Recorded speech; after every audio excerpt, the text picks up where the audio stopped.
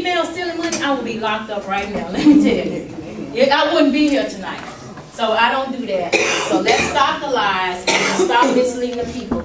Let's talk about those petitions, how you forged the signatures, how people who hasn't been in their residence for three or four years and their names ended up, their names ended up on a petition. That's what we need to talk about.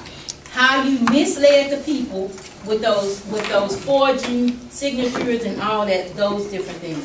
So, mm-hmm. no, I'm here tonight to reassure my people, not you, because you know the truth, but to reassure everybody that no, I'm, I'm honest, I don't steal anybody's money, I have worked my butt off, and I've done it, nothing more than worked hard as a councilwoman in this district. And I have to defend my name, because I've done a darn good job in this area, along with my neighbors. I don't take credit for nothing without taking, my neighbors taking the credit too, because we stayed here since nineteen eighty-three.